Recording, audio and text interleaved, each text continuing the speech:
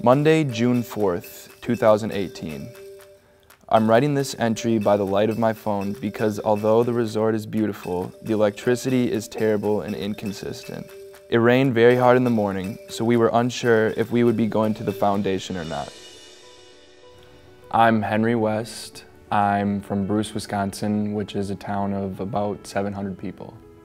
Uh, before studying abroad, I had never left the country. Like, coming to Madison from my small town was like a big eye-opener, but it's nowhere near as eye-opening as going to the other side of the world.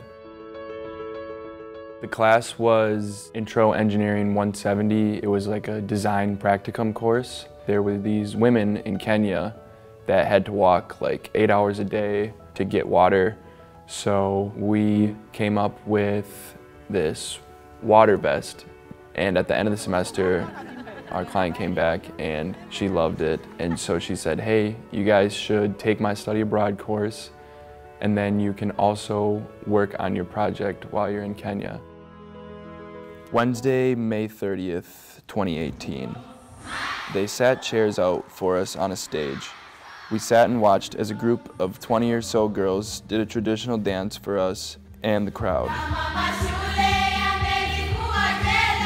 Then we all got up again and introduced ourselves. When it was my turn, I started with, hello, my name is Henry. I'm 19 years old. The entire gym erupted with laughter and screaming they must have thought I was way older.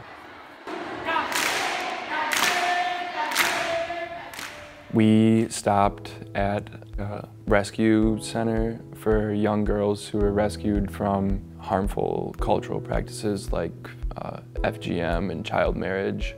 We taught like empowerment courses and basically we ended up just like playing volleyball and with them and throwing frisbee and stuff like that and building with Legos and playing with clay.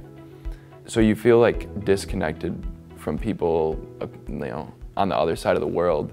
But once you really get to know them, they're just amazing. And you know, the girls, they wanted to do the same things that we want to do. They want to be doctors too. They want to be lawyers too.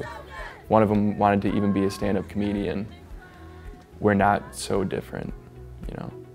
It honestly was one of the most important things I've ever done in terms of changing my perspective, making me a more open-minded person. Don't hesitate if the opportunity comes up. And even if you don't think that you'll study abroad or that it won't be right for you, that there's probably a program out there that's a perfect fit for you. Today was life-changing, and I'm so excited to go back tomorrow.